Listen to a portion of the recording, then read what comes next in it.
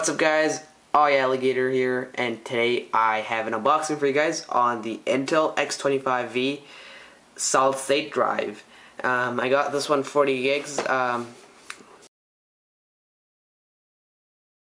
um, here it says value performance, low power consumption, and rugged silent solid. It comes with a 3-year limited warranty. That limited always makes it sound like it's not going to do anything. But I also bought a, or I should say an in-store replacement for two years. So if anything goes wrong, they just give me a new one. And on the back, uh, it says it comes with a 2.5 inch drive with 3.5 inch adapter. And it comes with that frame if you want to put this in your laptop. So let's go ahead and open it up. I expected a seal here, but apparently there is none. Shouldn't be a problem. Hopefully it wasn't used before. It Doesn't look like it's been. Alright, there we go. So, um, there is the solid state drive itself.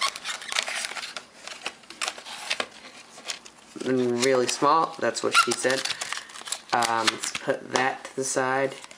And it comes with this sticker saying my SSD rocks. You know, it's all like, that's how you say it, just so you know. And uh, comes with a manual. I don't know why you would need that, but cool. And uh, last and probably least, a mini CD for your drivers, which you're not going to use. I'm not. You don't have this. You're not. You may have it. You probably didn't.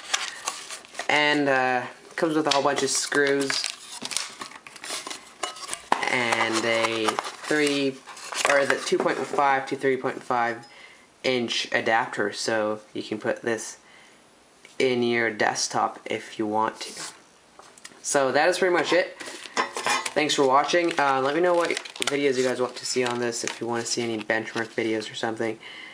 And, uh, let's actually open this up. Still, oh, nope. I, I guess that's supposed to happen. Oh well. Doesn't really matter. The sticker on it stays perfect or not. But here's the back and here's the front and it's super light.